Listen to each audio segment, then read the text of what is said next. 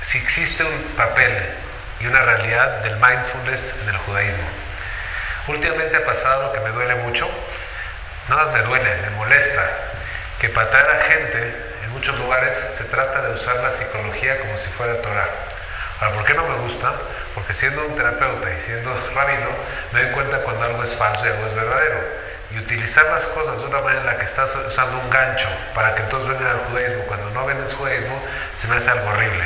Entonces la pregunta que tenemos que hacer no es si realmente el mindfulness es una cosa judía, porque está muy padre, está muy interesante, pero es algo judío o no.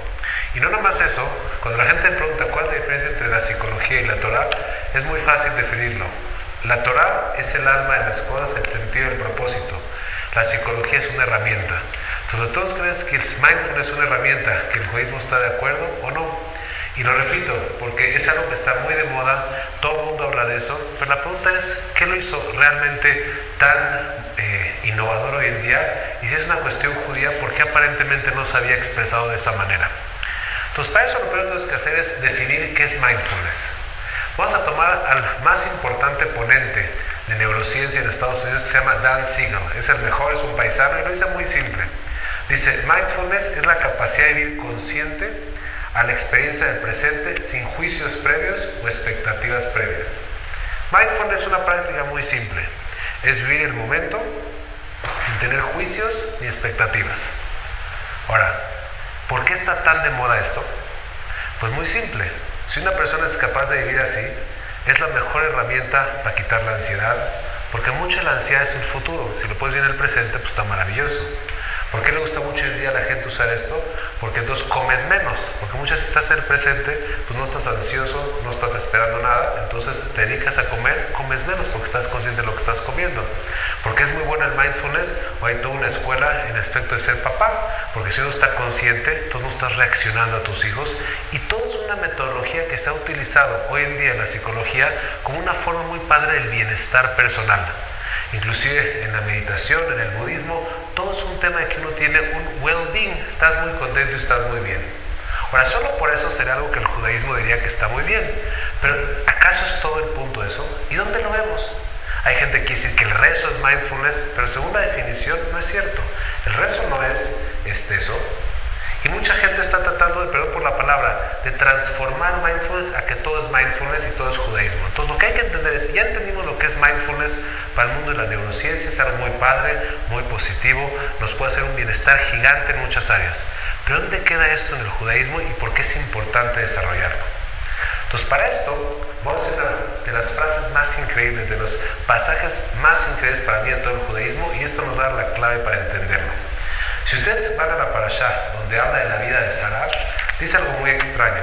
Dice que la vida de Sarah fueron 127 años los años de la vida de Sarah. Entonces sabemos que la Torah no es García Márquez, no es un tema poético, y si hay una palabra extra o, letras extras es para ser analizadas. Y viene Rashi y dice, ¿para qué me repite los días de la vida de Sarah?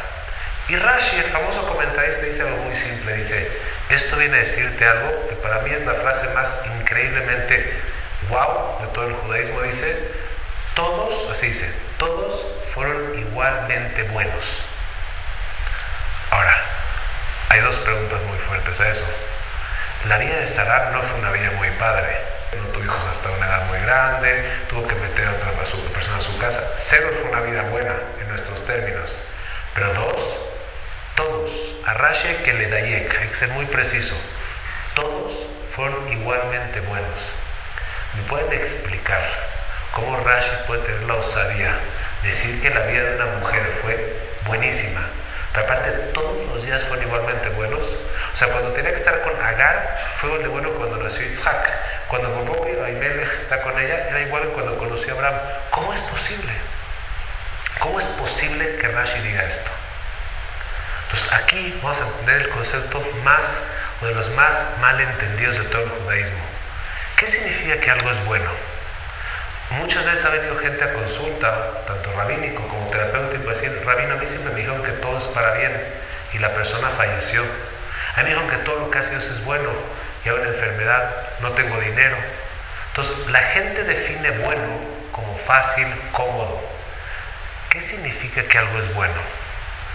Bueno significa que todo, absolutamente todo lo que hace Dios, tiene un propósito y tiene un sentido. ¿Qué significa que todos los días de la vida de Sara fueron igualmente buenos?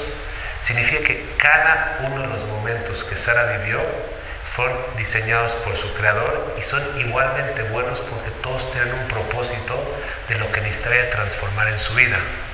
Y esto nos enseña un concepto importantísimo de vida, que todos los momentos que la persona vive son igualmente buenos en relación a una cosa.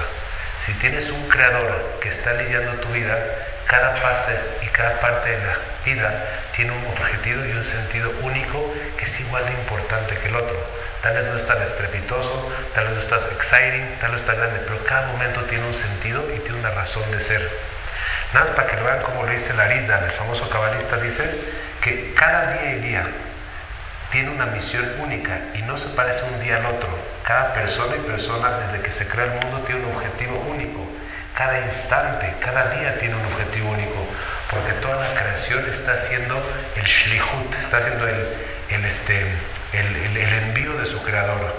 Otro gran comentarista dice así, cada momento en la vida de la persona es matinim lo Dios le manda la cosa que necesita hacer en ese momento para su perfección. Vemos algo increíble, que la misión de la persona donde está en cada momento. Cada momento de la vida es la misión de la persona. Porque si todos los días de la vida de Sara fueron igualmente buenos, significa que todos los días de Sara tiene un propósito, una función, una misión, y lo importante es de que ella entendió cómo cada parte del proceso es importante. Si esto es verdad, vamos a definir así mindfulness como lo dice el judaísmo. Dice el famoso la Friedlander. ¿Cómo se dice mindfulness en hebreo? Menuhat Anefesh. Vean cómo dice. Atzurash el Menuhat Anefesh. ¿Qué es Menuhat Anefesh? Es cuando uno vive con la emoción, no solo con la experiencia intelectual, de Lenatzel, aprovechar con rega, cada instante, mitoch rikus, con una concentración malé, completa, la de tu pensamiento, de kola kohot, todas tus fuerzas, Ah, Mindfulness, Menuhata Nefesh, es la capacidad de poner todo tu pensamiento, todas tus fuerzas en este momento para aprovechar este momento y sacar el objetivo que tienes frente a ti. O sea que mindfulness es la capacidad que tiene la persona de aprovechar cada instante de su vida sabiendo lo que tiene enfrente él y aprovecharlo porque como explicamos, la misión de vida es cada momento. Rav Shlomo Zalman dice, ¿qué es éxito? Hacer lo que tienes que hacer cuando lo tienes que hacer. La misión de vida es cuando te levantas, Modeani, esa es la misión de vida del mundo. Te levantas, haces netilat, es la misión del momento. Y es igual importante eso que mañana Neila, porque cada momento tiene una responsabilidad. Alguien que vive con Menujata Nefesh es la persona que está 100% consciente, activando su presencia, su pensamiento y sus herramientas para aprovechar cada instante de la mejor manera. Umishtamesh, él utiliza Besman Mesuyam, en ese momento de Kisharon, con las, la, herramienta, la, este, lo que tiene, Amatim la, la Peula usas tu vida y tus herramientas para lo que tienes que hacer. ¿Qué es Menuhata Nefesh? ¿Qué es mindfulness judía? No es para estar tranquilo y relajado como diría la psicología o como dice el budismo. Está muy bien. Es algo mucho más profundo. Es utilizar esa misma herramienta, que es estar consciente del momento, pero para transformar ese momento en algo eterno, porque es la misión de vida. Vean la diferencia.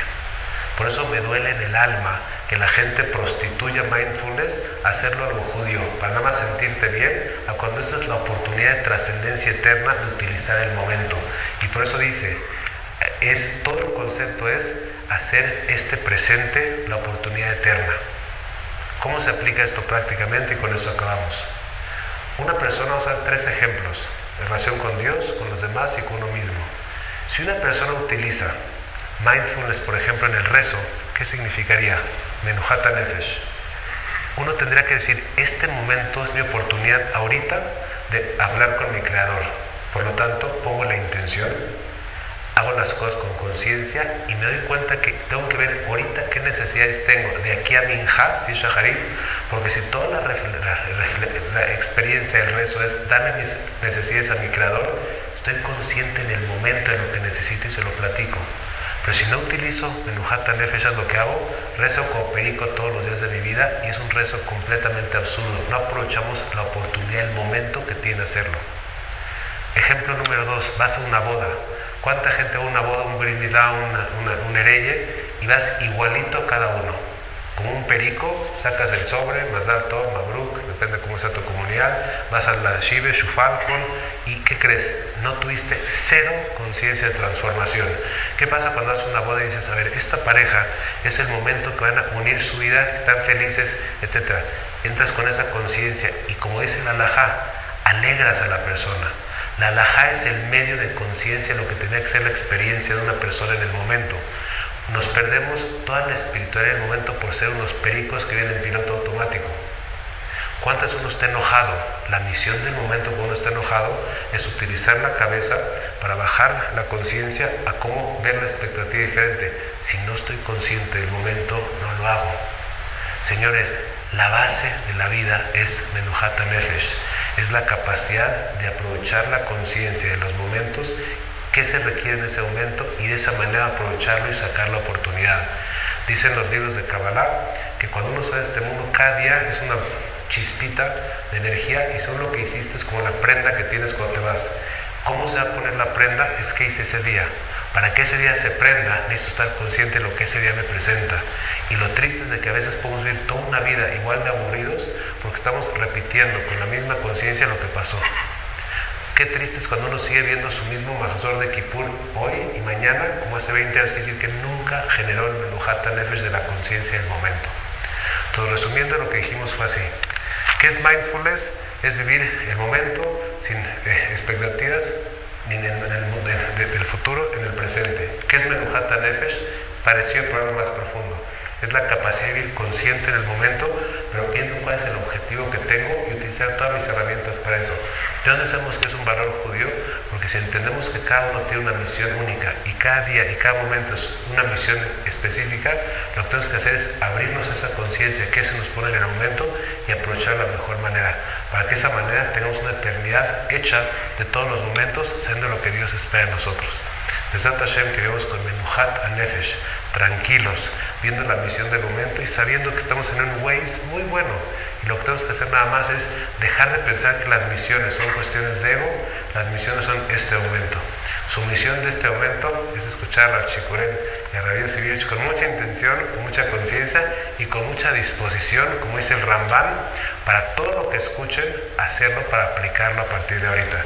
La laja es que lo que uno escucha es almanat la azot, para poder trabajar así. Que yo les dé la oportunidad de aprovechar estos grandes jamín, a Radio Sibirich, a Chikurel y a Rabanillar, que yo les dé una vida larga, hermosa y todo, todo lo mejor. Muchas gracias.